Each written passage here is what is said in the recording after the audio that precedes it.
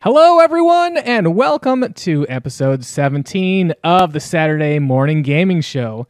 It is April 17th, 2020, and I am your co host, the Fat Wizard, joined today by. Alamaxia. And Lobos. And today we're playing Ecco the Dolphin for the Sega Genesis, and this was released in 1992. Uh, and a couple of first thoughts I had on this is. Um, I kind of feel like this is uh, the Citizen Kane of video games, and let me let me uh, explain why. Um, Yeah. So I watched Citizen Kane uh, a couple years back because it's one of those where it's like everyone needs to see Citizen Kane, um, and when you watch it, it's not a great movie, but you have a, a much better appreciation for the media at the time. And so I felt that the same way about Ecco, and I wanted to get your guys' thoughts because I felt this was something that really helped me understand the Sega library a bit more, but I didn't feel like it was a, a, a super great game. What did you guys think? Overall, I thought the game uh, it suffered from the controls a lot. It was really difficult to control Ecco and try to get him to go exactly where you wanted him to go. And the difficulty was it was there at the beginning. The middle game was kind of quick. The, the middle game just went by really quick, and then at the very end, it just got insane hard. But Lobos, what I did you kind of think about enjoyed it. I kind of enjoyed it. You know, it's it started off and it almost had uh, I felt like kind of an like an educational feel to it. I was like, "Oh yeah, you know, I'm saving pods of dolphins and swimming around and eating fish and and I can use my sonar and it's super cool." And then like the midpoint it's like now all this crazy stuff happens and you're like, "Oh, okay." And then that you just you just have to you know, throw all inhibitions out. Just be like, "Okay, whatever you want to do, just do it. Just do it, man." It's All logic cool. goes out the window. Yeah. So let's talk a little bit about what you do in this game. So you start out in the game and you're in the very first level, which is called Home Bay. And it's a very cool, you know, kind of low key level. You're just kind of swimming around. There's other dolphins, and you can use your sonar. And you use the sonar to talk. So it's like if you hit another dolphin with your sonar, a little dialogue screen will come up and say, "Hey, Ecco, how you doing?" And one of the dolphins says, uh, "How high can you fly?" Did you guys find that? Mm-hmm. Yeah. And so that's a key that you should jump up in the air as high as you can. And when you do, this huge vortex like sucks everything out of the sea, but leaves you for some reason. And so much of the game is really focused around. So once you get that get that little story bit, a lot of the game is focused around just trying to figure out how to get out of the level. And often it would be there's a gate that is is sort of sealed by this crystal, and the crystal you can eventually move out of the way if you go find another crystal which unlocks it. So a lot of the game is really just kind of navigating these maze-like areas and finding these gate crystals to unlock these other gates will which will allow you to progress. And honestly, that's majority of the like 26 levels here. And um so you, you kind of get into a rhythm once you get the hang of the game. You're like, okay, I see how to play this. But for me, when I started, it was a little bit of a challenge to be like, what what exactly is this game, right? Because it's not really like any Yeah. other game I had played. Yeah. Yeah, the first Yeah. four levels of it really felt like um like the the four or five levels entirely felt like the tutorial of the game because each one just kind of introduced a little bit of a different mechanic that you needed in order to carry forward into like the middle and end game of it. Mm-hmm. Absolutely. Yeah, and the whole thing with the crystals was like a I guess you can call it a puzzle, but it's like because there's no difference between the crystals, there's like the, the, the crystal that is a basically a door and the crystal that is basically a key look exactly the same. And later on in the game, there's like multiple crystals. So you're like, okay, I got to figure out which crystal this one's for and this and that. Though they do have it uh, most of the time linearly set up. And But- it's also usually pretty obvious to figure out which one is the gatekeeper because, or which one is blocking the door or the exit. Yeah, yeah. It's like, oh, here's a big crystal in between a passageway. Yeah, right? exactly. So we just kind of hit our first, what I would consider first level of the game, which is called the Under Caves. And this is, um, it, it really teaches you immediately uh, how these crystals work because immediately you go in, it's a very narrow corridor once you enter a level, you can't back out. So there are linear levels. It's not like an open world game, like I, which I originally thought it was going to be. But you uh, immediately to your right, you find one of the the crystals that you can hit with your sonar. Oh no, actually, you have to bop it with your nose. Yeah.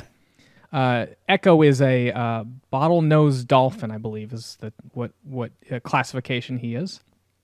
Sort of like the flipper of um of dolphins here, and uh, so you you bob it with your nose, and a little like concentric ring uh, appears on you, and that's the indication that hey, you now have access to use your sonar to knock out this other key. And so you do that, boom, you've kind of solved the first puzzle. So I will say, in terms of like a tutorialization, they do a pretty good job of teaching you the base mechanics early on. Yeah, and Ecco has some base stats, which is basically just health and then breath. And you do need to keep finding spots where you can pop up and refill your oxygen. And uh, they teach you that pretty quickly. Also, well, I guess you don't necessarily figure that out. You could think something invisible is killing you, but there's a lot of sections that's just like, uh, oh, you're kind of trapped. And if you don't get oxygen soon enough, you die really quickly. So, Yeah, in many ways, that reminded me of the old Sonic uh, water levels. You know, where you uh, you're underwater and trying to get the the breath, and you, that song that comes on, it's like dun dun dun dun dun Yeah. dun, dun, dun, dun, dun. and it's it's sort of the same thing where you can visibly see your air meter going down, and once your air meter is completely out, it starts removing your health, and then once and once your health goes away, then you actually restart the entire level. And for Alamaxia, I think you made a good point about this seemed like it was a was Alamaxia said it seemed like an educational thing. mm, I said that. Oh, that was you, Lobos. Okay. Yeah, and um it surprised me actually how hard this game was because it, it was like if you die on a level or you yeah, I guess if you die, you have to restart the entire level and, and some of the things you are doing in the level are quite demanding Yeah. to the point where I heavily use save states and I encourage that uh, in the Discord because I'm like, yeah, some of these levels are going to be kind of a nightmare to, to redo over and over and over. Yeah, I would agree. Yeah, it it, it became clear like that kind levels would typically be broken up kind of into sections, and each one maybe had like one hard thing you had to do. And then once you did it, then you can move on to the next section, and then Yeah. you would fail at that and go back to the beginning. And then I was like, okay, yeah, so I'm going to save state after I do the hard thing, and then the next hard thing, etc. But I feel like for some of the levels, that hard thing was just simply figuring out where you needed to go, and and for those levels, if you died and went back to the beginning, that didn't it wasn't really that bad on a second time through. I do remember one level um mid game where we have to make a, a very high high jump at the very beginning Yes. that uh, is extremely frustrating to, We'll to have even plenty get of one time, to talk about that. So Yeah. let's not let's not get into there yet because there's a, a whole section on the video that goes there. So uh, talking about a little bit more about what we're doing. Actually, the, we originally said that the majority of the levels have you finding those crystals and opening gateways, but actually the level we're on right now, which I believe is, is either the vents or the lagoon, has you rescuing three other dolphins. And this level probably took me the longest because there's a lot of really narrow corridors that you have to go down. And it's very hard to figure out where you are and where you need to be. You do have a little sonar ability, which uh, if you hold down the sonar button, the sonar actually comes back and like hits you in the face, and will show you a very small map of the area, which I thought was really cool. Yeah, like, I hey, did too, yeah. you- You're kind of mapping out the area around you. Did you guys feel like the map was sufficient though to really get your bearings? Because I, I found that it was like, well, I can kind of see everything around here anyway. Yeah, Um, I would I would use it to detect like because I think they would show like certain pickups or like maybe a crystal. So if I was on, at a wall or, and I could see that there was another side, but not entirely what was there, like it would extend your vision uh, a bit more, and then you could kind of see what's around there. But I didn't use it all that much, just in in very specific cases. I tried to avoid using it for the most part, um, not because I didn't want to know where to go, because that was very helpful, but anytime I used it, any enemies around me would immediately respawn. And Oh, is that true? I, didn't, I guess I didn't notice that. yeah, there were times where I would uh, have just defeated like a, a shark or one of those puffer fish that we saw earlier. I would use my map, and coming out of the map, they would be immediately respawn right on top of me. So I, I had to wait until I was in, in more of a safe That's, spot to that's use brutal. Okay, interesting. Uh, so we're still trying to collect all the uh, all the dolphins here, and of course, uh, some of the things you have to do on these early levels are really, really precise and demanding. We're looking at a scenario right now where there's this little brick you have to destroy, and the only way to destroy this is to use your sonar beam to push forward, or your sonar. I don't know, I guess sonar attack, whatever you want to call it, uh, to push a. I'm not sure what this actually is. It looks like a ring of spikes, though. Yeah, it's right? like urchins or something, probably. Yeah. Okay. Yeah, and you have to you have to you have to use your sonar to push it along, and you have to like go up and then left and then up and then right, and it it's kind of imprecise to the part or to the point where often I would shoot those urchins into uh, you know, the geometry and be like, oh no, I can't get it now. So you have to go back and you have to redo the whole thing. And that, it was just very, very time consuming. And that was a good example of when I would use save states. I'm like, all right, cool. I pushed the urchins, you know, a good deal to- closer to where they needed to be. Save here because if I if I mess up, then I can kind of restore there right away and not have to redo that whole stuff. But along Yeah, the way, and you it- even had the obstacle of an octopus that Yes. that they they give you a hint in in the earlier in the level. Swim by him slowly, and you don't realize how slowly you really have to go. you do really Yeah. slowly, or else, or else he'll hit you with his uh, his his tentacle, and uh, he actually slightly prevents you from progressing, and also will damage you. So, uh, yeah, and and that's really nerve wracking, especially when you're considering I'm almost out of breath. I need to get past Yeah. this guy really quickly, but you got to play it cool because he'll knock you if you uh, if you don't go too slow. Yeah, good points. Uh, some other obstacles we're dealing with here are there's some shells that are spiked, and you have to. It took me actually quite a while to figure out uh, how to progress past uh, one of the areas because there's an area early on. I think it was in the the second level, uh, the under caves where there's uh, a bunch of shells that are blocking uh, path and I, I spent forever trying to figure out like how do i get past these do i use my sonar things uh, no you actually have a dash button and so the dash button does a couple things one it'll damage slash destroy enemies it will also damage slash destroy like those shells we talked about and the third thing that it really does is it will allow you to eat these little tiny fish if you come into contact with them and those are how you actually heal up for the most part Yeah, that level you're talking about with the spikes that you have to destroy the first time. There's also another passage above that has like this water current that like won't let you swim past it. But I, I managed to do that like two or three times, so I thought that's just how you were supposed to to do that part. Oh, so, so you, did, you managed to get down past the, the current? yeah, the, I don't know why glitch maybe I don't know, but I did that, and then at some point I just couldn't do it anymore, and I was like, "What happened?" And it took me forever. I actually had to look up, and then they were like, "Oh yeah, just break these with your snout," and I was like, "Oh my gosh, okay." I think I ended up just hitting the button out of frustration and bopped one with my nose and went, "Oh, that's how you do it."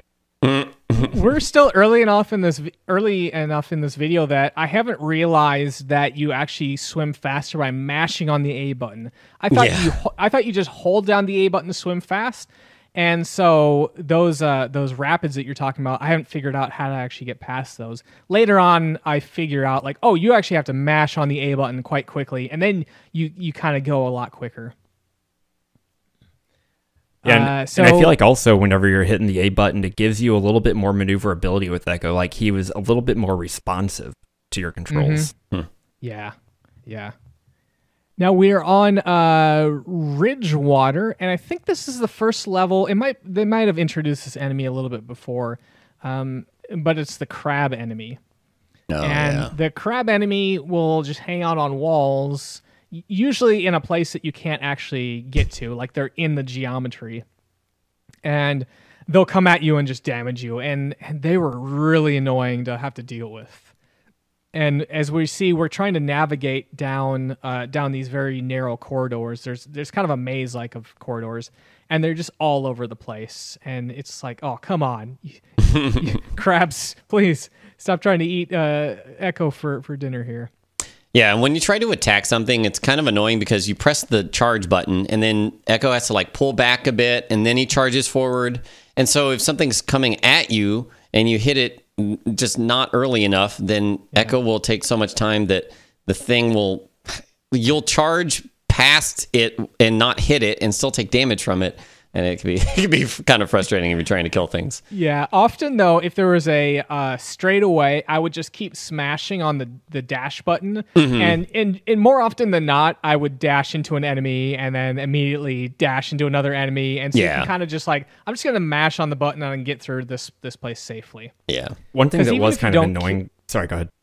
I was gonna say even if you don't kill the enemy on the first hit, they it makes them uh, flash like transparent for a little bit. You know that you can pass through them Yeah. safely. Yeah, I was gonna say one thing that I found kind of annoying with the dash is when you are just trying to dash past enemies, you don't necessarily want to hit them. The dash has an auto aim feature that forces bit, Ecco yeah. to to go out of line with where you really want to go. Mm-hmm. So in, in this corridor where we're swimming between all, all these stingrays, if I just want to go through it really fast, I have to mash that A button. I can't dash, otherwise I hit them. I, I will say though, uh, I, maybe it was my excitement for for getting the health, but I always felt like trying to dash into the small little fish to eat them to to regain health. I would actually miss them so often. Yeah, they, they I move basically away like from circle you. so- around them. Yeah. I, I had a better time like figuring out where they were and then moving off screen and then charging at them from off screen because Yeah. I would get too close and they'd move out of the way and yeah. Now, did you guys find how the uh, little uh, clams that you could use your echo on, and they would release the bubbles to heal you instead? So you you Yeah, had two ways to heal yourself there. I think some of them would shoot out fire bubbles though, right? And Yeah, they- damage The red, red bubbles, bubbles. yeah. the red bubbles. So I kind of just not. I didn't try. I didn't really use them that much because I'm like I don't know if it's a red bubble or blue bubble, but eh, eh, it's it's scary. So I um I think the first level where you rescue dolphins, um and maybe the first or the second, I rescued like two out of three, and then I found the exit, and I was like, okay. Uh, and then I was like, wait a minute, and I looked up just in case. And if you rescue all three, then you get an ability that upgrades your sonar. And I was like, oh, so I don't know if they offer a way to get it later, but potentially if you don't do that, then you miss out on stuff like for the rest of the game. I don't know. I think the sonar that you get is what's called the Confuse sonar, and that allows you to uh, use your sonar on the sharks or the hungry ones, and it basically makes them spin in place for a quick second for you to, s to swim by them. But Yeah, I, Yeah, I'm not- I don't I'm think not it locks sure, you out of any content. There's also there's also something called a damage sonar, um, and and I didn't know how to do this. I think I rescued all three dolphins, but didn't figure out how to use this ability because apparently you're supposed to first dash, but right as you're about to attack, you hit the the sonar button, and then it will damage enemies. Yeah. So yes, Weird. there is a confuse sonar as well, but there's also a damage one. So having a damage sonar sonar would have been really great. Yeah, I, for I this never used that. Which is open ocean which this one's interesting because this is just a a straight shot there's just a bunch of sharks and you have to just go from the left to the right and there's tons of sharks and to the point where i was wondering like is there something i'm supposed to be doing because i feel like i've been Yeah. going to the right here for a long time Yeah, that was the level that kind of was a dead giveaway of okay, some of these levels are literally just going to be, I guess, traveling levels. It's not going to be quite a, a, a maze. You just got to get through the level. Uh, not really much to figure out. Exactly. I will say that the next level we are in Ice Zone is really when I think I started to warm up to this game a little bit, oddly enough, in the Ice Zone. Uh, because because I think this game, if it was 26 levels all in like a blue ocean, I just needed something visually different to look at. And uh, so about like six or seven levels in, they give you a instead of a tropical um, you tropical ocean. Now you have a frozen Arctic. I'm like, okay, you know, some a new palette to look at. We have some new enemies like these these huge spider things Ugh. that, that hang out there. Spider crabs, yeah, man, they're terrifying. Spider, is that they are spider crabs? And I, I I, think do want to talk about real quick about why we're in the Arctic because if you're going Yeah. through the levels and you uh, there's there's this NPC that you'll find in the early levels. He's uh, he's the killer whale, and you talk I to think him they and call he, him a big blue, right? Well, No, this is he's the not orca, Big Blue. The the Yeah. orca, he's Oh, like he's the one that says Big Blue is to the north, and Right. then another one's like he's really far to the north. So we've traveled so far north that everything is ice. We have frozen water all around us, and we're trying to find whoever Big Blue is because Ecco doesn't know what happened to his pod, and he's just going around effectively asking everyone he can, "Hey, do you know where my family is?" Yeah. He's a poor little kid in the, the supermarket trying to find his parents. Yeah. they do also mention that Ecco has, I believe it's five stars on his forehead, which makes him look a little unique compared to the other. Uh, Oh yeah. the other dolphins. Now here we're seeing a, a sequence where I thought this was a lot of fun. Uh, often, what you do in Ecco is you have a little, we'll call it like a pond, so a very localized area you can swim in, but then you can jump out of the water over some terrain and into another little pond. And this is kind of cool because with it being icy, you actually kind of like belly slide on the the ice there. And I, I always thought that was kind of cool. Yeah, I like doing that a lot. And especially after I figured out you could jump while sliding and jump over like the next gap so you don't go down into the water there. It was fun. Yeah, so we just uh, uh, finished up Ice Zone. Now we're in a level called Hard Water, and Hard Water introduces some blocks of ice that actually move around. And if those blocks of ice, uh, you know, kind of catch you on terrain, you know, like squish you, it'll instant kill you. And as we see right now, there is one section in this level where there's just ice that's going all. There's probably like eight ice blocks, and they're all just going like chaotic uh, movements. And I definitely got caught a couple times in between these blocks. Did you guys have any trouble with those? I definitely got killed quite a few times. I, I got I killed like- a few, but I found there was the uh, there was an outside area on the uh, if you went the uh, left wall and up and around, you could swim pretty quickly and avoid almost all of it. Hmm, okay, interesting. I did like these levels a lot because up until now it's been a lot of just find the find the uh, crystal and unlock the things and and dodge the enemies, which are kind of random. I always felt that the enemies, although they do have a set attack pattern, they they were kind of just random, right? But these had patterns you could observe and be like, okay, now hold here and then burst through here, j- dash through here. So I felt like I was getting a little more of like the the um, Twitch based um, strategy there, you know, like trying to time my dashes, and I, I did like that a lot. hmm Now uh, we are just about done with this level because we we have to at the end of the level is that those like a bunch of ice blocks that uh, are all moving together, and once you get the keystone, you're able to finally get back through there and go on to the next level, which is called Cold Water.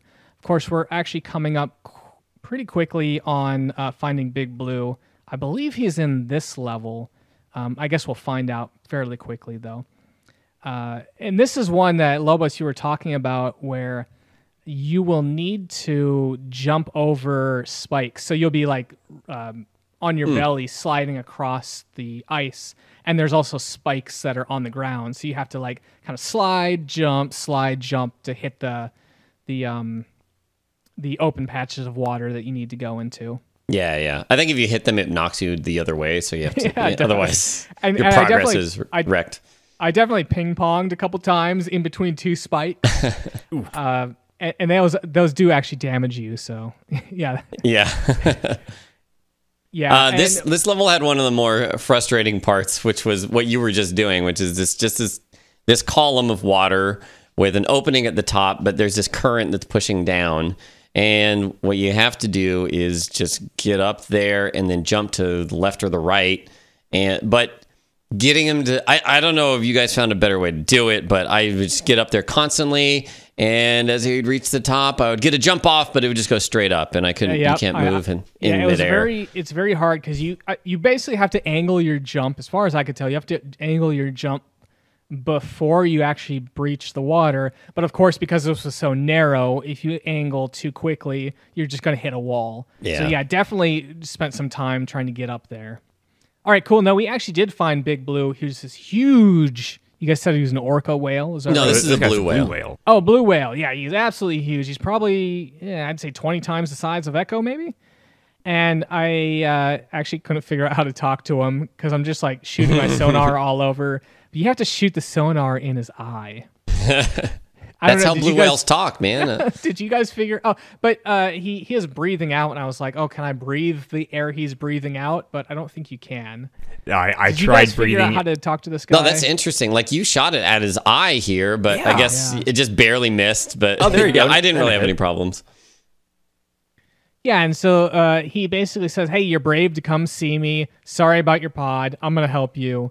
Uh, what else does he say here? Oh yeah, he says there. We know there's uh, these violent storms that occur every 500 years, uh, and then when they happen, all traces of life vanish. Um, but he doesn't know why that occurs, and he's like, "Hey, don't give up. There is one older and wiser than I." And you're like, "Oh, okay, really?" Great. Um, yeah. And it's called the asterite yeah. and uh, he calls it the oldest life form of the sea. He doesn't really say what it looks like though, Mm-hmm. so uh, and it's kind of a surprising thing when you actually get to it. You're like, oh, that's the asterite. That's kind of weird. Um, and it says, hey, if you can talk to it, then maybe it'll be able to help you. And it says, uh, and Big Blue says, hey, it's going to be inside of the deep water zone, I believe, which is actually the, the next level.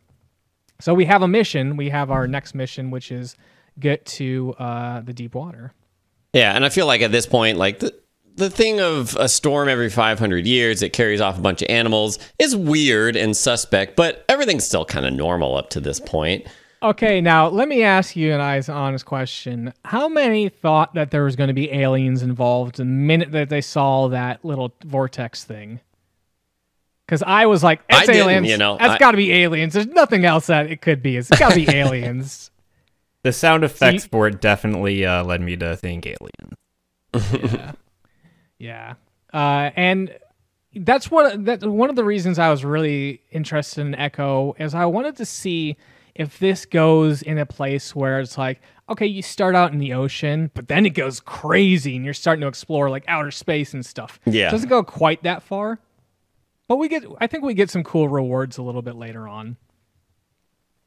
Often we'll go to some levels that we've already been to, and I think this might be one of those. I think there's a couple times you go back to levels where you've already been, and you you either have to find a new exit out, or you basically have to find the same exit out. I can't remember which which one it is, uh, but you guys notice that as- well. That's often it's like, all right, go back to this level that you were literally just at. Yeah, some of them, most of them had a purpose. Like, uh, like there's definitely. Oh, I, I won't spoil it, but coming up, there's a place here you go and you gotta. It helps you travel, so um, Yeah. that you have to return to and do that a, couple times. Uh, I think you go back to yeah one of the first areas to talk to a dolphin or something, and mm, you go back to the very first level. I remember that, but yeah. Uh, let, while we're kind of like you know roaming around here, I want to talk about the music. I actually feel like we always forget to talk about the music, but this game, I love the music. And I'll tell you what, I probably listened to the soundtrack about five or six times while playing this game. I don't know, did, did the music kind of hit home for you guys? Was it was it nothing special, or was it like, oh, this is great stuff? I really like this music. Um, it's more ambient than what I'm familiar with, which is Ecco 2, The Tides of Time, Ooh, which has a banging soundtrack. but it's, I still really liked it. I like the. Um, I, I would say the sound design, although the constant charging and sonar could get on, uh, could get become grating on the ears. But overall, I really liked it. The music was nice. Um, after spending about four hours in the first few levels, though, the music in those got a little a little on my nerves, and I I fumbled my way into figuring out how to turn off the music. You can actually toggle it on and off. Uh, if you uh if you Oh. pause the game and you hit your A and B button at the same time, toggle it. Oh, interesting. Oh, interesting. They knew that. Okay. They were like, okay, people are going to be stuck here, so let's let's give them a break. You know, I think I found that also, and I was like, "Who wants to turn off the music? I'll leave that on." I definitely had it on for a vast majority of the game, but levels that I went through a few too many times, I was like, I, I don't want to listen to this music again. They definitely have themes. You know, like you'll you'll hear and identify certain types of music with like, "All right, I'm out in the the kind of the ocean here, what's more spread out, or the undercaves where there's a bunch of chasm, narrow chasms." They definitely had distinguishing music, which I appreciated, and to the point where uh, when I was listening to the the OST on YouTube, I was like, oh yeah, I'm I'm out in the ocean, just kind of swimming around the fishes or the fish, and this is really great. So maybe I was the only one that really appreciated this music, but uh, it, it's good. If if people haven't listened to it, they might want to give it a listen because uh, I thought it was very relaxing. Yeah. Now we are on the we're we're on deep water, and this is roughly halfway through the game, I'd say. And we just found Asterix. Or is that his name? The Asterite. Asterite. Yeah. So really, this looks like a DNA sequence, um, but they're like little balls that are orbiting, as opposed to like you imagine a DNA thing being like these ladder type things that are circling. These are just like little bar balls that are circling in a in a in a pattern there. Um, so what he says is basically, like, "Hey, I can I can help you if you help me, uh, and you must go uh, travel into the past to help him regain his full strength." And I'm like, "Yes, that's what I'm looking for in this game." And he says, "Go to uh, the west, and there's a sunken city called Atlantis." And uh, I was like, "All right, cool. I hope that Atlantis is really, really crazy." Um, and essentially, you get there, and uh, well, actually, before you get there, you have to find a time travel machine. I was like, "Oh, okay, this is really cool." Because I was, I was again, I was hoping for that sci-fi flair on this. uh, so we're going to get to the uh, teleporter machine in just a bit here. But were you guys excited about the idea of going to Atlantis? That was pretty sweet. And uh, whenever he was like, "And you're gonna travel time," I was like, "And this game just got weird." Yeah, that that this is the point where it starts. It, it's still not like I don't know. It's like okay, time travel. All right, fine. But then he, it gets even more weird later. Also, he just asks you to go find one of his globes, and you're like, oh, okay. I guess I guess I'll do that. That'll help you find my family. Sure. Yeah. Uh, So, and that that's yeah. actually a, uh, that is a critical hint for later on Mm-hmm, finding one of the globes. But we'll talk about more about that boss fight because I definitely had some issues with it. so uh, the next area we go to is called the Marble Sea, and so now we're getting into what almost looks like a city that's underwater.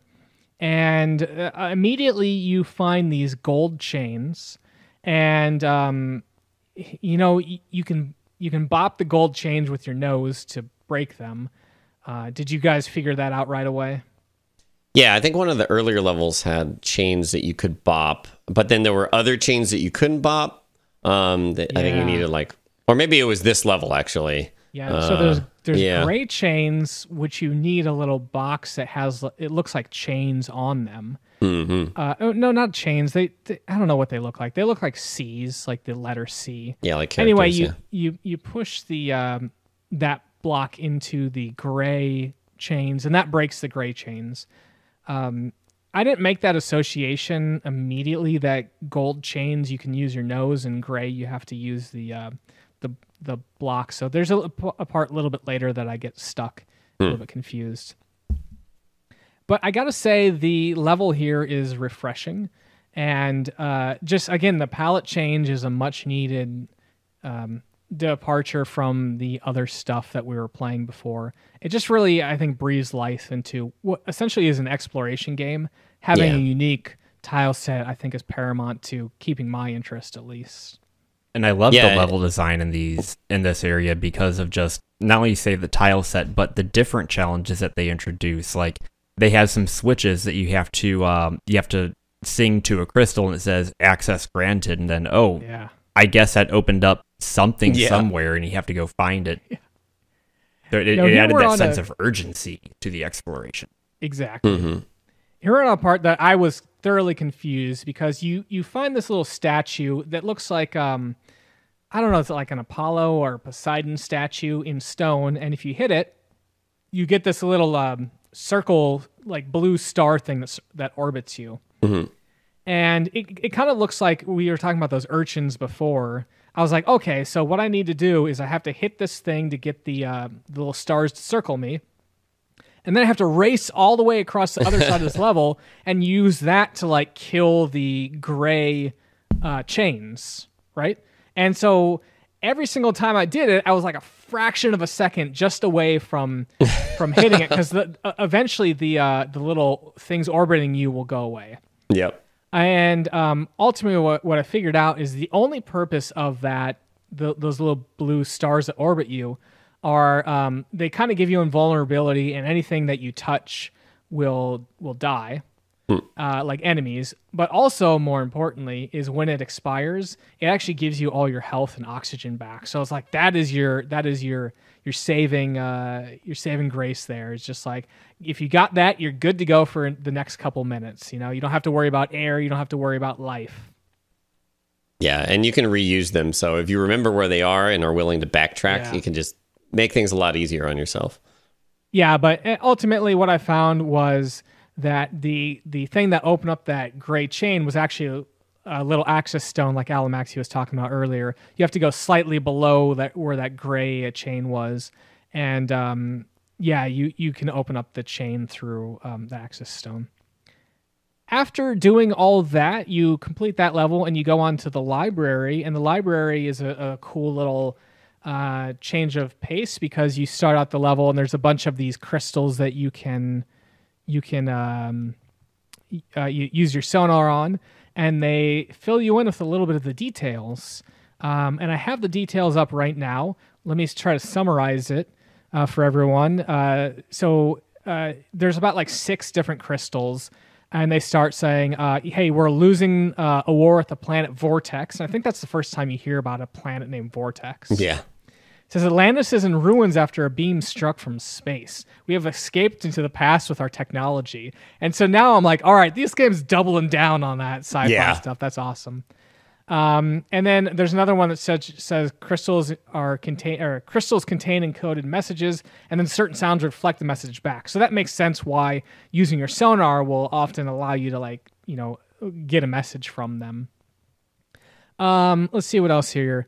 Uh, another one was talking about the vortex. They suspect the vortex are dying and can no longer produce food. So over 500 years, when the Earth and vortex have a clear path, the vortex feed on the Earth. and it says it actually increases in size. And so I was like, oh man, this is really cool that um, they have this uh, this explanation for why these the vortex are are consuming uh, you know basically Ecco's family. Yeah. And they keep eating more and more every time. Yeah. So it's just more and more sea life gone, or more, potentially more than sea life. yeah. Um, After that, a little bit, we get to a part. this was a nightmare for me because there's another one of these places. There's about five gray chains. And so at this point, we know that the gray chains can be destroyed by using those little blocks, you know? But there is a block, but it is about. Um, there's there's like these little wells. So there's about four or five wells in between where the block is and where the gray chains are. And what you have to do is you have to push the block into one of the wells and then it'll hit the bottom and then you have to go to the bottom and like nose the block up the well and then off to the side a little bit. And you have to do it like 5 times and the controls aren't super pre- precise. It's not really easy to like get to the bottom of a block and um, you know lift it above you. Did you guys have issues with that at all? Yeah, I totally did. Yeah, that, that took me a while, and then I eventually like looked it up because I tried to, to lift it as much as I could, and I was like, it doesn't seem this like I can do this, and I can't charge it across the gaps. Yeah. and even if I could, it would slide into the next pit. Um, You're like, so, am I doing the right thing? but the thing I was using, uh, you probably are using as well. It gave a good tip where you like you hold down, down, you scoop once, and then you scoop a second time after Yeah. you've scooped, and then it would hold it, and that worked fine. But Yeah. So what what I did, yeah. So I'd I'd go to the very bottom and I'd nose it up a little bit, and then immediately go to the bottom again, and then you kind of have a good grasp on your nose. yeah. The way I found to do it was was a I nightmare. had to push it all the way to the left, then push it all the way to the right, and then if I went uh, down under it and pushed it up, it would stay on my nose. But if I didn't Oh. do that, I could not keep that thing on my nose to save my life. I had I I probably went through about 30 or 40 attempts on that area just to get it just to get it through. That was that was the most brutal part of the game for me. Oh no. Yeah. Jeez. There are definitely some sections in this game, that being one of them, where I, I I looked at a guide. I'm like, I want to make sure I'm doing the right thing here because Yeah. this seems a little more difficult than it should be. And there's one part we haven't got to it yet, so I don't want to spoil it yet. It, Lobos, you kind of already talked about it, but um, th- where I looked up a guy, I'm like, all right, let's make sure that this is what I'm supposed to be doing here. So let's see. We are all in the city of Forever now, which is again the last city in Atlantis.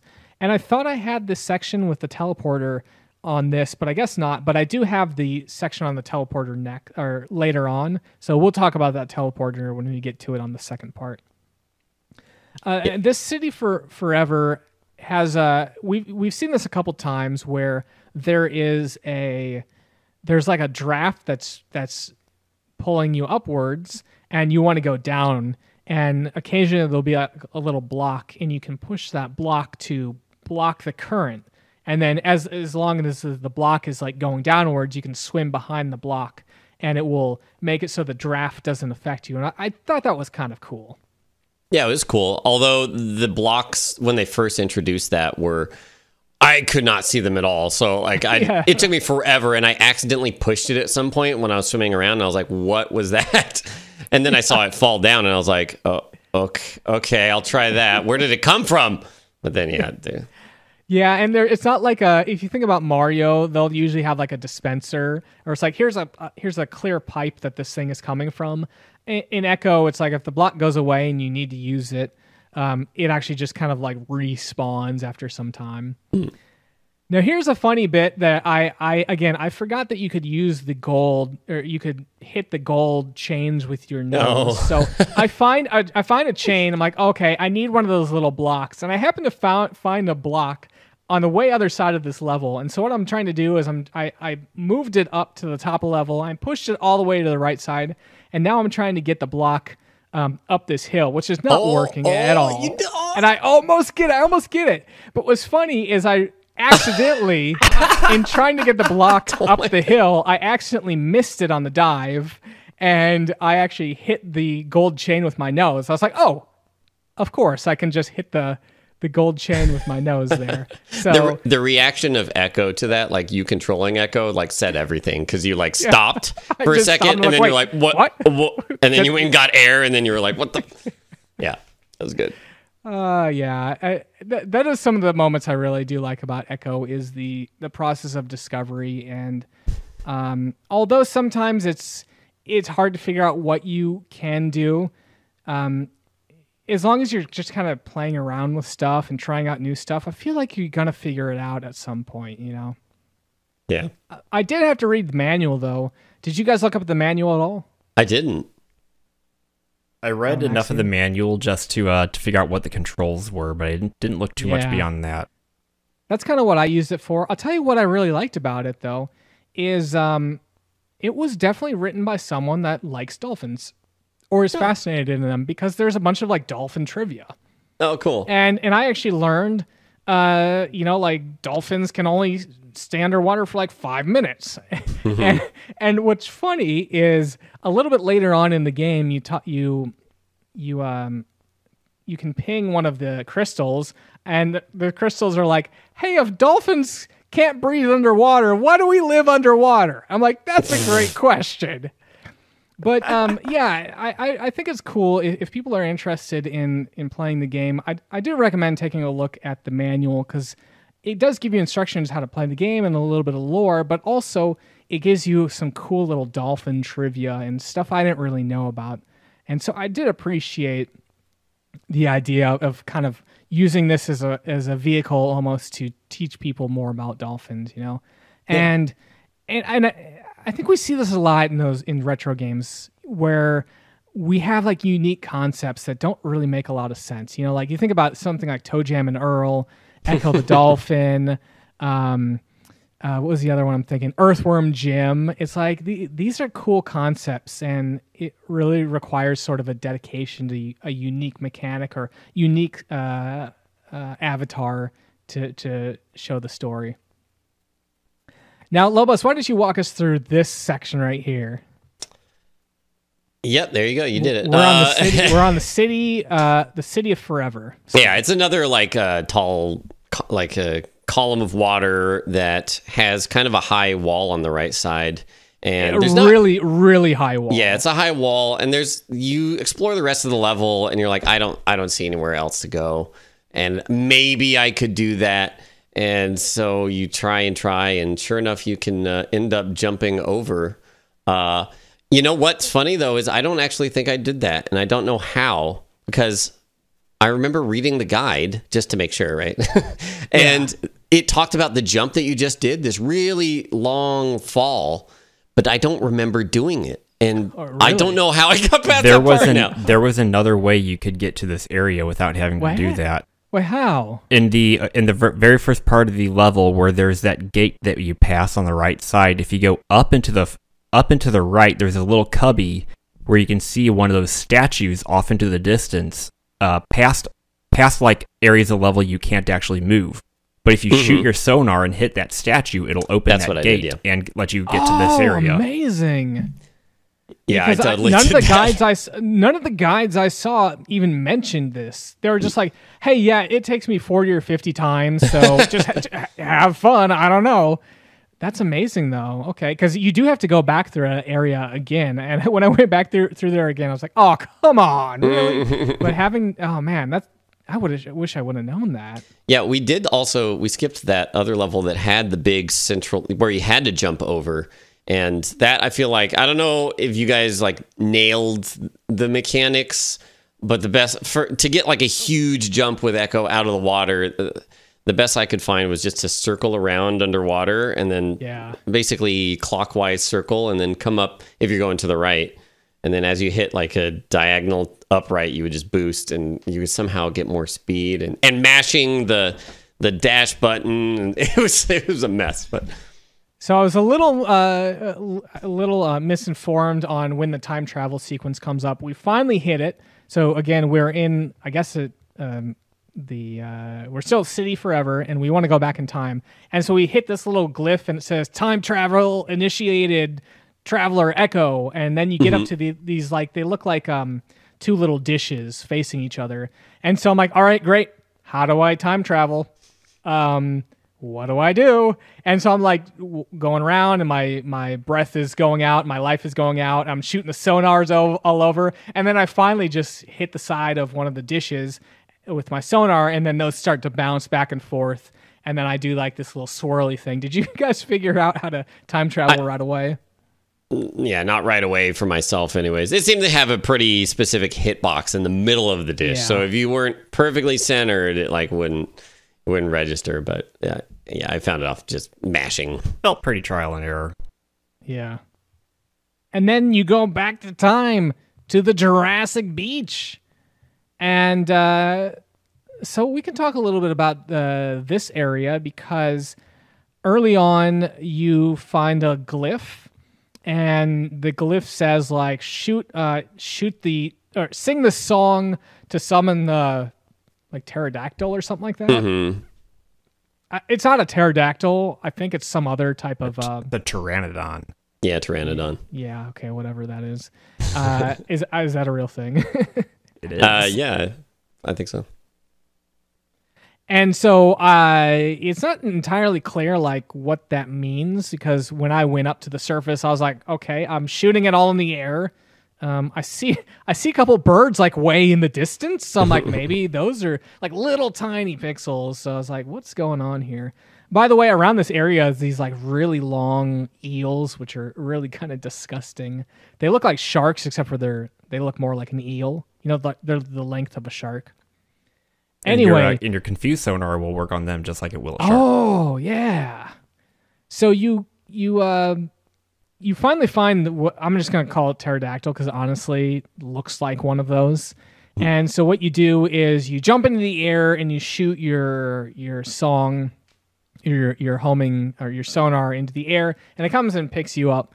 And this serves as a way to get to the next area, which you know is kind of cool. You know, uh, I, I could appreciate it and then you go down a little bit south of here, or you go down to the bottom of the ocean, and there's these little volcano things, right? Mm-hmm. Did you guys figure out the trick with the volcanoes? on Eventually, accident yes. when I was trying to run from one of these little trilobites that's chasing you. Yeah, the trilobites are nasty. They look like they look kind of more like shrimp to me. Uh, if I were to describe what they look like, they look like little shrimps. But yeah, they they get on you and they are adamant about killing you. And so yeah, I also accidentally ran into one of these volcanoes, and the uh, actually is the volcano on this level? No, it's on the next level, I believe. The Pteranodon Pond. So at the bottom of the the ocean here are a bunch of these volcanoes, and uh, unbeknownst to me, actually a couple of the volcanoes are false walls, so you can actually go into the volcano and then through the terrain, which allows you to progress a little bit more into the area. As far as I could tell, the only indication that that exists is it has some bubbles coming out. Uh, Lobos, how did you figure out that those volcanoes were where you needed to go? Yeah, I, I eventually one of my tactics, if I didn't know where to go, was just to kind of edge along the walls and mash my sonar and see if it hits something. And that's that's how I managed to find that. They have enemies that kind of come out from the walls. So after I figured that out, I was like, oh, maybe they have like you know an enemy come through that little tunnel area to show you, hey, you can go through here. But that wasn't the case. They just come out of out of nowhere. Yeah. So uh, it was just luck. And then once I knew to look for that, then I was like, okay, well, we'll keep in, keep that in mind.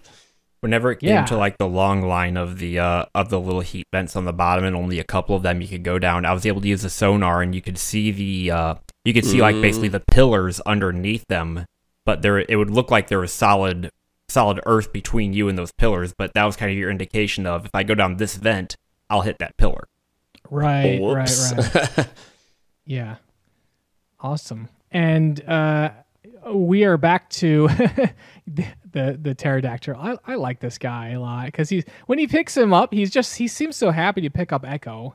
He's he- and you'd think you know Ecco would be a perfect bite size uh, meal for this pterodactyl because pterodactyl's pretty big, you know. Yeah. Uh, it's probably like three times as large as Ecco, and he looks very hungry because he he's like squawk squawking as he's going. He's picking up uh, Ecco and moving around. Now uh, the next level is Origin Beach, and uh, I- think that we're introduced to a new enemy, which is it looks like a seashell, but it has some tentacles coming out. Uh, and they actually believe kind that of is a shelled squid. a shelled squid. Well, there's actually two types of enemies that have these. There's one that moves from side to side, uh, which we're seeing right now, and then there's one that look more like conch shells, and they have uh, tentacles coming out there. Uh, in, in either case, uh, both aren't too tricky to navigate. Again, if you just keep mashing on the dash button, eventually you're going to get through this the area pretty quickly. Uh, and then we move on to the next level, which calls the Trilobite Circle. And when I saw the name of this level, I was like, oh no. Yeah. oh no. And immediately there's like two or three Trilobites that are just on me. and they, yeah, they actually do uh, just go through the walls to get Yeah, you. they chase you so much longer than any other enemy. Like anything else, you could just kind of run away from, and it's fine. But Yeah. they'll chase you, and if you're just trying to get away, you'll aggro another one, and then you'll have two or three chasing you. And if you try to turn around and bo- boop them with your nose, most of the time they would just They're approach you too hard to fast. kill, so yeah. yeah, And then uh, one of the new, I think this is one of the last new enemies we'll see uh, in the ocean at least, is this huge seahorse, which is blocking off a, a path.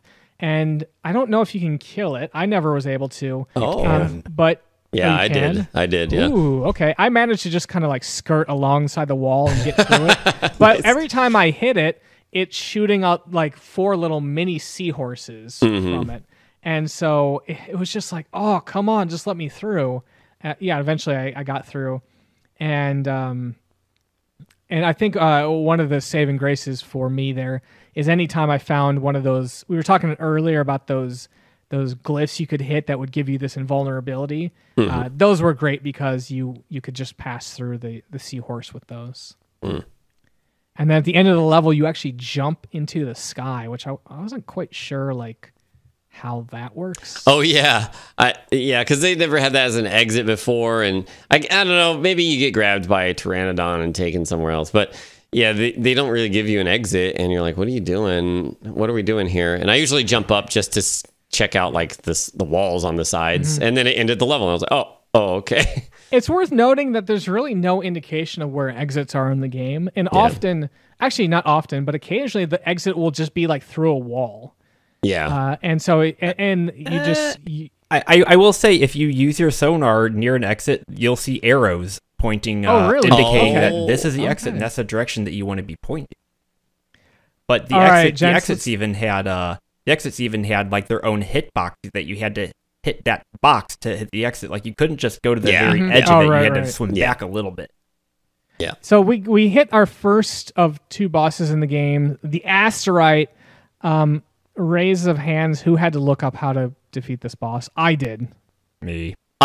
I had I had the right idea and just Uh-huh. looked it up to make sure that that's what you had to do because I didn't want to spend a bunch of time trying to do it. So okay, uh, why don't you walk us through what you have to do, Lobos, and tell us how you figured out how you had to do this. Well, like you said, it was it's like a double helix of these orbs that just kind of spins around, uh, twirls around itself, and uh, it's it's made up of different colored orbs. There's like brown, orange, blue, and like gray or something like that, and it shoots lightning at you eventually, which deals a ton of damage. And if you run into it, it deals damage. And uh, the sonar doesn't seem to do anything to it that I, I noticed. So if you charge it with your nose and boop it, whatever you hit, whichever orb you hit, will start flashing. Will be like flashing transparent, and it stays that way. And if you hit another orb, maybe it'll stay on, or maybe it'll turn off. And I I noticed that if you hit two of the same color, then they'll both remain flashing. So I was like, okay, all right, I'll keep So hitting the the ones guy, the same the color. guide that I saw had said it had to be a specific color. Maybe that's Oh. not the case. no, I, I had, was doing it with different ones depending on Okay. my attempt. Okay, because the because the guide that I said said you had to hit the same color as Ecco's nose. I was like, okay, what gray? I guess, but that's interesting. So that maybe that's a little bit easier than I thought it was. Because I was like, how were you supposed to know it was just the gray orbs? Oh, Interesting. Okay. Yeah, Uh, but after- but after you, I think after you get four of those orbs, then Yeah, he just kind of yeah in a row without hitting other ones because that interrupts it. Then he the the big double helix thing just kind of Yeah. crumbles down. Good good you get time to use save states, right? The, all Oh, right, yeah. hit the first orb, save state. Yep, Second yep. orb, save. State. After that, you go back to Asterite, and he's like, "Hey, great, thank you for making me whole again." Um, and he teleports you back to before the vortex suck up your pod, and Yeah. he's like, "Hey." Um, oh, also, he gives you a special power. You no longer have to surface for air, so you're basically you can breathe underwater. Did you guys notice that? Ah, I knew that Yeah. happened, but I didn't know that's why it happened. yeah, it's Gave Nice. that and your health regenerates automatically. Mm-hmm, Oh yeah, yeah, yeah, and those are those are great, great things because uh, you're gonna need it in the next le- next couple levels here. So we're coming up on the end of the game, but yeah, you go back in time and you jump up in the air again, and the vortex comes and sucks up everyone, but you get sucked up this time and enter the tube. This is a very different level than what we've seen in the past. We're now like in space, and imagine a huge. Um, you know, like shop vac vacuum sucking up the ocean, and that's what you're trying to traverse up right now. And it's And a big auto scroller level, which Yes. they I don't think they did auto scrollers up to this point. Nope. But it's in game and it's gonna be hard. So I think all the rest of the levels are auto scrollers. it is pretty hard. And again, I use save states a little bit here. I wanted to u- get the challenge of kind of learning the auto scroller level because I think that's where part of this the fun comes in. But at the same time, I'm like the auto scroller level is actually kind of long, so I don't want to spend So long. So yeah, This first one, like, yeah, it keeps increasing in speed how fast the level scrolls by. And it's kind of repeating sort of a pattern. Um, but pretty much what you did there, I was just slightly off center and I stood in one spot and just mashed my sonar. And if you got hit, you would regen health enough in time and then you would make it through. And I was actually running into because there's there's these little lightning things on the wall, and I was like trying to run into them because I didn't. i'm like, is there something I need to do to progress the level? Do I need to like damage this thing? Because I was sitting in the middle, nothing was touching me, but I didn't feel like it was progressing. So uh, after you actually complete that, you go into the uh, penultimate level here, which is called Welcome to the Machine. This is another thing that I use save states a little bit, but I wanted to kind of memorize the levels because this actually was probably the most fun I had in the game. I don't know what you guys thought. Oh, nice. This was a really fun level. I had a lot of fun with it. I, I, I have a thing for auto scrolling levels. I've always liked them. But you're essentially inside of the alien mothership, and I guess it's all underwater, or maybe you're floating through space. I'm not Yeah, sure. at this point, I don't know. and, and there's these aliens that come out, and I, I would say they actually look like aliens from the movie Alien. Did you guys Yeah, they got the, they got the big heads, and then they got I don't know, like just like kind of tentacles on them? yeah, tentacles or limbs. Yeah. And so they come out, and once I figured out that you can use your sonar to blow them up, you basically just do 360s around the as the levels auto scrolling. You just do like 360s blasting sonars all around, uh, and it's this auto scroller level is pretty easy. Occasionally, though, what it will do is it will put it'll put you at a dead end. So let let's say it's going to the up and, and the left, and it gets you into the dead end, and it'll be like, okay, it stops, and now starts going to the right. So there's often where it's like, all right, a path that you couldn't get to before now opens up. But I'll tell you what is devious. After you do that, you go to the boss level. Uh, or it's not sorry, not boss level. You go to the boss because if you die on the boss, you have to do that whole welcome to the machine level again. And uh, I was not gonna do that because that, that that took about what five minutes? Would you say it is a long, It's long, long. It's very long. I, I would say that this level is where the difficulty of Ecco actually just, I would say, not only shines, but goes from about 5 to 11. Now, let's talk a little bit about this boss fight and what it looks like. Alamaxia, why don't you why don't you fill us in here? So this is just a giant floating head, and uh, we have a lot going on around the room. Uh, we have a whole bunch of holes in the wall, and there's going to be some toxic smoke that pops out of the the walls and just try, tries to hit Ecco. You can pretty dodge that pretty easily. Early in the level, there's going to be some more of those aliens spawning, but the biggest thing is that this big ass head has uh, two eyes. Sorry, this big head has two eyes, and you need to uh, shoot your sonar at the eyes in order to pop them out of its head. But every time you hit it, a whole bunch of uh, whole bunch of little black balls come out that you have to try to dodge, and they do a lot of damage.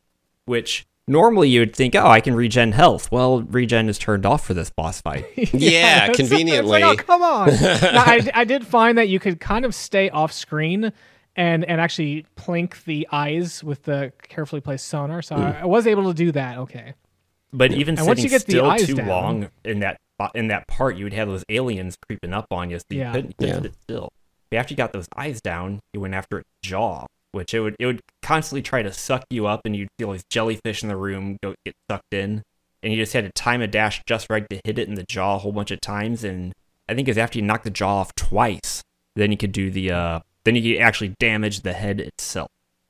Yeah. by Two more some hits the head and he blows up and and actually what you see is is all the sea life kind of spiral out from this alien head and all the dolphins kind of come out and they they go back down the tube that you just came in. And it's really cool because you see your um your your school i guess of dolphin friends. And and you just kind of like you go into the sea and you're jumping around and all the the dolphins are are uh, swimming and they're happy and your your character Ecco he goes into a mode where he actually just goes and talks to everyone. And at this point you don't have control. It's sort of a cutscene. And uh, you're basically talking to all your your family that you saved and they're they're saying hey great job Ecco. We're going to remember you forever. Or we're to remember you forever. You're a hero. You saved us. Good job. So um, i guess not a whole lot of fanfare but i did feel like that boss fight was a lot of fun uh, I- I'll tell you what though, if the boss fight was a separate level and it's like every time you die you restart the boss fight, I would have felt that that boss fight was perfectly balanced. You know, it was it was a lot of fun, a little bit of a challenge, not too bad, but you know, it had a little bit of skill and it had some cool mechanics to it. Yeah, I, I liked it overall. The the only problem I had was that if he sucks you up, was one hit. And Yeah, if if one of those uh, individual smaller aliens kind of got on top of you, you you were pretty much one hit. So, and without the regenning health, it's like ah.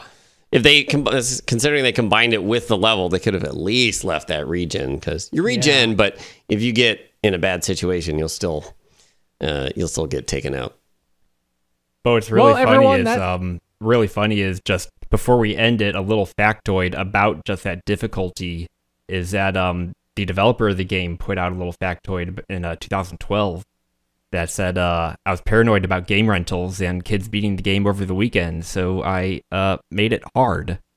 So a little background about why it might be hard. He, he, just, he just wanted to make sure that kids didn't beat it right away.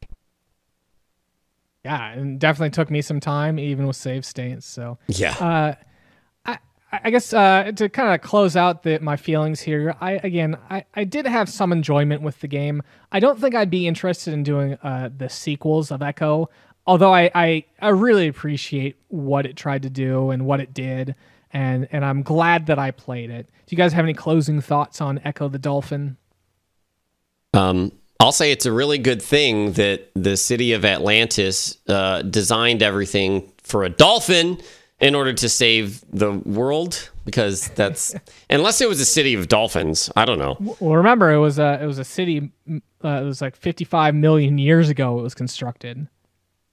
I, Uh, I think in the the lore, court- I think the lore, whenever you're hitting the crystals, they even say that it was they say it's made that, for dolphins. that, that like it was, it was, they kind of predicted it was going to be a dolphin. Yeah, or I guess they knew stuff that w- that nobody else did, or they just knew ahead of time. So they looked into the future. Now, Um, I'd be interested. Also, sorry, go ahead. Oh, I was just gonna say uh, on the closing note. Um, maybe not play Ecco Two, but check out that soundtrack, man. Ecco Two. I will do that. I'll That's a real good that. soundtrack. Yeah. Now, I was going to say right, I'd be everyone. interested to Oh, see how you would like the game if you were to play through it. Um, if using the uh, the dash and the sonar because I used that a lot Mm. through the whole game, and that's how I was able to kill the trilobites, the the spider crabs, and everything. I instead of hitting them with my nose, I was hitting them with sonar, and that made a lot of the game significantly easier. So I feel like just by going through it only hitting it with your nose, that was a challenge mode in and of itself. Uh, and one more little bit about uh, power ups. We didn't mention it. I don't know if you guys noticed, but I think it's the very first pod that you save. If you save all three, you get that sonar confuse upgrade, but you also get something to where enemies don't respawn anymore if you kill them. so you can complete Ooh. you can completely empty out a level and not have to worry about that. I did not get that because yeah, the enemies would repopulate if I left the area and came back. All right. Well, awesome. Thanks, folks, for uh, for listening. That's gonna wrap up our uh, Ecco the Dolphin episode. And of course, we really wanted to thank our Patreon supporters for supporting this episode. If you like what you uh, hear here and you want to help support us, please head on over to patreon.com slash Saturday Morning Gaming Show to learn more. Uh, we have some cool things there, including uh, early access to the podcast. And also, one of the things we do is we splice together the video, the actual video that the group here watches with the podcast, so you can actually follow along with us to uh, visualize, better visualize what we're seeing. So I think that really helps change the experience there. So yeah, um, we finished Ecco, and um, I'm pretty bananas about this podcast. What are we going to play next? Pretty bananas. Oh my gosh! Wow, can we take do another take on that one, Alamaxia? no, I'm kidding. That's that's perfect, man. So here's one that actually Alamaxia, I think you you kind of suggested, and I have never played uh, this one. Uh, Lobos, how about you? Have you played it? I've definitely played it. Uh, I think I've beaten it, but it was a very long time ago. Awesome. We're going to be playing Donkey Kong Country for the Super Nintendo. And it's been a little bit, a hot moment since we played a platformer. I think the last one we did was um, Yoshi's Island, right, Lobos? Yes, definitely. And so I'm hoping that this one is a is a fun game um, uh, to experience there. I looked at a little bit of the the videos and it seems kind of interesting, but we'll see. We'll see. so uh, yeah, we're gonna definitely do that in May. I'm But sadly, we have reached the end credits of this episode, and we all wanted to thank you for listening to us on the podcast. And we do re- release a new podcast monthly. So be sure to follow and subscribe to the podcast on the iTunes, Google, or whatever your choice your platform is. If you got feedback or just want to send us a message, we'd love to hear for you from you. Uh, message us at Saturday Morning Gaming Show at gmail.com. or follow us on Twitter at Saturday M Gaming. Yeah, and we definitely have the uh, Game of the Year podcasts uh, available. Actually, the uh, the last the day three is going to be coming out soon, and so after listening to those, that will be a perfect opportunity for you to to shoot us an email saying you guys were completely wrong about these top ten games, and this is why. And here's my top ten list. I, we, we certainly would love to hear if you have your top ten list of uh, 1999. Uh, but we did want to give a special shout out to TechnoAxe for a lot of the music on this episode. For Saturday Morning Gaming, I'm Alamaxia. And I'm Lobos. And I'm the Fat Wizard. We'll see you in May with Donkey Kong. Country. Uh, we'll see you in May with Donkey Kong Country for the Super Nintendo.